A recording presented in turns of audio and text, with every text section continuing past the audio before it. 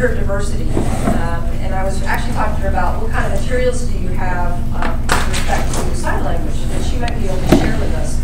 And she was so excited to hear that we actually were pursuing and trying to get people involved in, in, in understanding you know, the culture um, as well as uh, being able to communicate in sign language. That she said, would you do me a favor, would you videotape it? Um, and because she wants to share that with the team in Seattle, you know, the support center. So uh, we have someone here this morning videotaping. Thank you for being here. So we're gonna we're gonna videotape the, the coffee tasting and then share that with our with our uh, our friends in Seattle.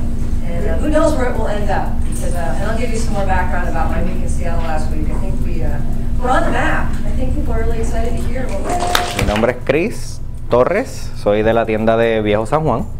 Y es un placer para mí haberle dado la clase a esta gente espectacular. Hoy vamos a estar degustando el café de Puerto Rico y para darle más información voy a estar compartiendo esta información con ustedes. Ellos se van a presentar por su nombre y les van a estar dando la información del café. Yo voy a estar haciendo la voz mientras ellos hacen la seña. Hola, buenos días. Mi nombre es Bell. Alejandro.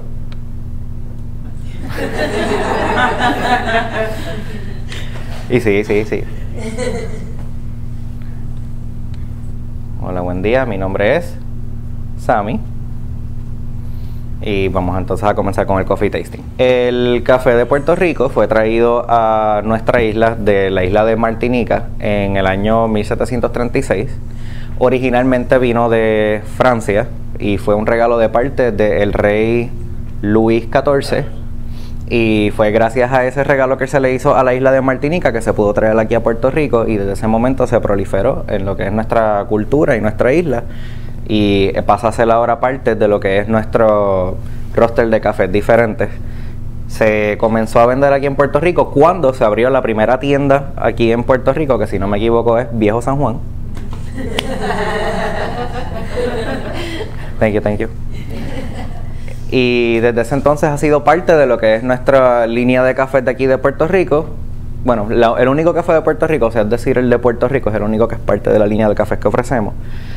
Y le da a los clientes un sentimiento de lo que es tener algo que es nuestro de aquí, de Puerto Rico, que nosotros podamos apreciar. Tiene un tostado medio. Es proveniente del área de América Latina. Tiene un método de procesamiento húmedo. Tiene sabores balanceados y sabores a nueces. Tiene un cuerpo medio y tiene una acidez media también. Sabores complementarios de este café son frutas secas, y chocolate. La razón que a mí me gusta el café de Puerto Rico es porque el café de Puerto Rico es de mi patria. ok, el primer paso para degustar este café, primer paso, es olerlo.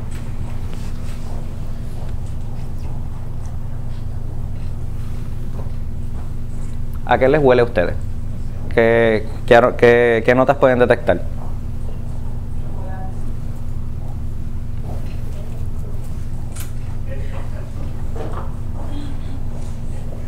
El segundo paso de esta degustación va a ser solver.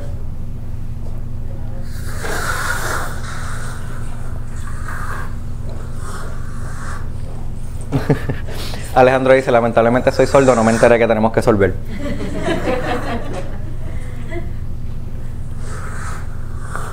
¿A qué le sabe?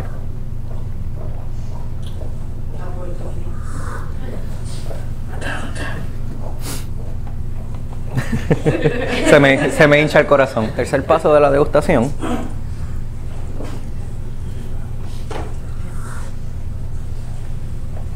Vamos a estar pareándolo con chocolate. Pero estos no son cualquier chocolate. Eso es, cho- es chocolate con fruta seca dentro, es decir, pasas o en inglés raisins. As I know we have English audience.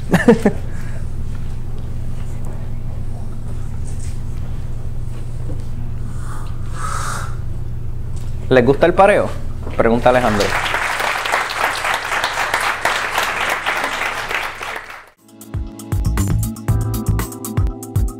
Uh, they don't really get to see and, and understand what we do and how we impact the people around us.